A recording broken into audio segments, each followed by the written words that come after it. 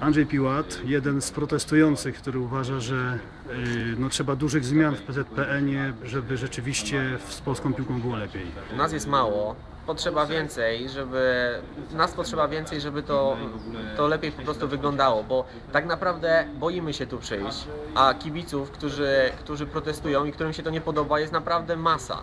Tylko boją się tutaj przyjść, albo z różnych przy- przyczyn ich tutaj nie ma, no nie wiem. Potrzebne są zmiany, bo wydaje mi się, że tak jak już wcześniej mówiłem, w Polsce nie rodzą się gorsi piłkarze niż w krajach Europy Zachodniej, a mimo wszystko nie osiągamy takich sukcesów, jak, na jakie nas stać.